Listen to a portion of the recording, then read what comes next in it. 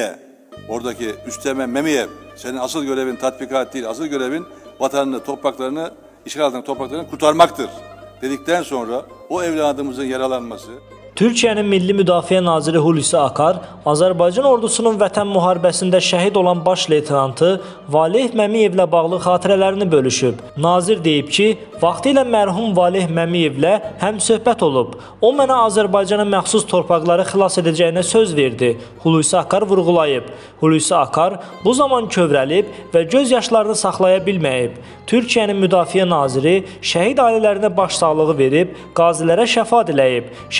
Şəhidlərimizin və qazilərimizin ailələrini heç bir halda əziyyət çəkməməsi üçün biz Türkiyə, sizlər burada Azərbaycan olaraq hər cür fədakarlıq göstərdik və bu istiqamətdə fəaliyyətimiz davam edir deyə Hulusi Akar əlavə edib.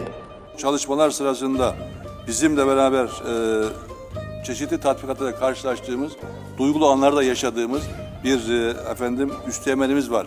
Valeh Memiyev.